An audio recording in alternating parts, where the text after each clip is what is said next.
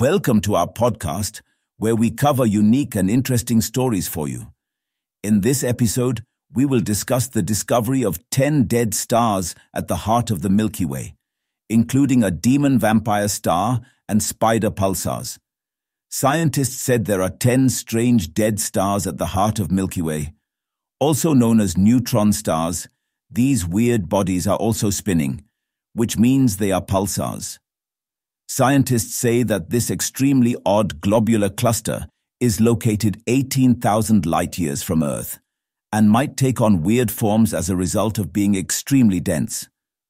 These include spider pulsars that can cast plasma webs and destroy stars. There is also a speed demon vampire star that is eating up other stars in the vicinity. These pulsars have been uncovered in the globular cluster Terzan 5, where hundreds and thousands of different stars that are 12 billion to 4.5 billion years old can be found. Terzan 5 is one of the most crowded regions in the Milky Way, with at least 39 known pulsars already swarming it. It's very unusual to find exotic new pulsars.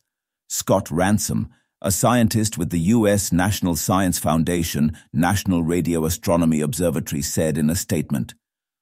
But what's really exciting is the wide variety of such weirdos in a single cluster.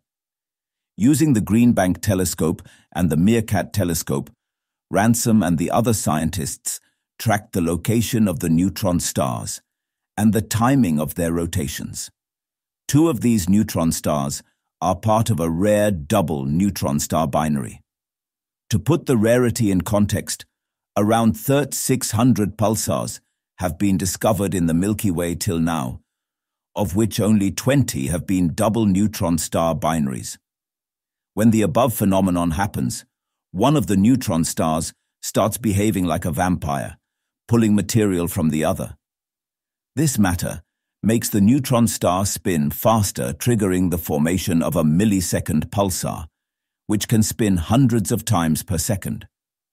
The latest pair appears to spin faster than 716 rotations per second, likely setting a new record.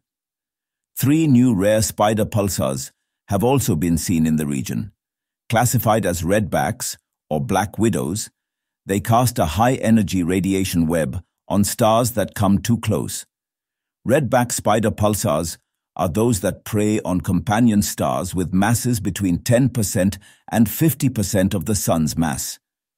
Meanwhile, Black Widow spider pulsars are those that prey on smaller stars with less than 5% of the Sun's mass. That's all from this podcast. Thanks for tuning in. If you enjoyed this episode, be sure to subscribe and share your thoughts in the comments. Stay connected for more exciting discussions and updates in our next podcast.